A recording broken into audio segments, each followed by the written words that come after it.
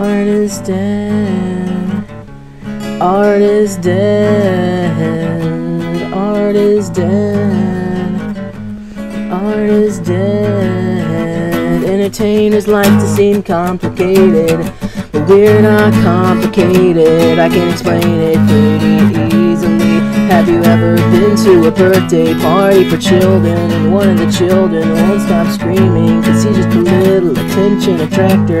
When he grows up to be a comic or actor he'll be rewarded for never maturing for never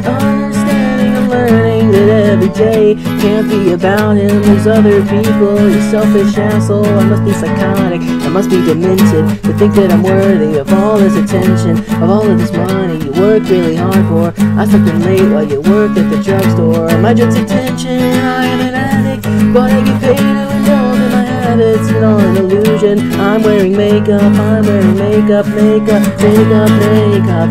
Said art is dead so people think it's funny how do we get these people's money said art is dead we're rolling in dough while Carlin rolls in his grave in his grave in his grave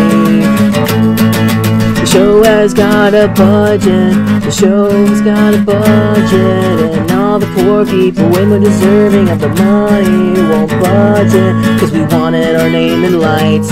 Where we could have fed a family of four for 40 fucking fortnights.